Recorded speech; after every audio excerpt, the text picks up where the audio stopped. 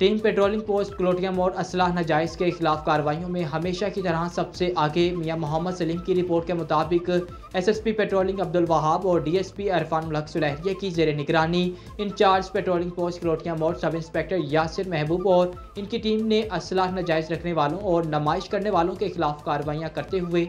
SSP patrolling Abdul Wahab और DSP Irfan हक सुलहरिया की जेर निगरानी इंचार्ज पेट्रोलिंग पोस्ट कलोटिया मोड़ सब इंस्पेक्टर यासिर महबूब और इनकी टीम ने असलाह नाजायज रखने वालों और नमाइश करने वालों के खिलाफ कार्रवाई करते हुए मुख्तलिफ़ नाकाबंदी के दौरान सफियान सकना पसरूर के कब्जा से पिस्टल तीस पोर और गोलियाँ बरामद की हैं। इसरार सकना शेखपुरा के कब्जा से पिस्टल नाइन एम और गोलियाँ बरामद करके थाना बम्बान वाला पुलिस के हवाले कर दिया है, जहाँ मुलजमान के खिलाफ अलहदा अलहदा मुकदमा दर्ज कर लिए गए हैं। इस मौका पर district officer DSP Irfan Sulehria का कहना था कि असला नाजायज़ रखने वाले और नुमाइश करने वालों के खिलाफ इसी तरह क्रैकडाउन जारी रहेगा। रिपोर्ट कर रहे थे Mian Mohammad Saleem, district bureau chief, great news, Sialkot.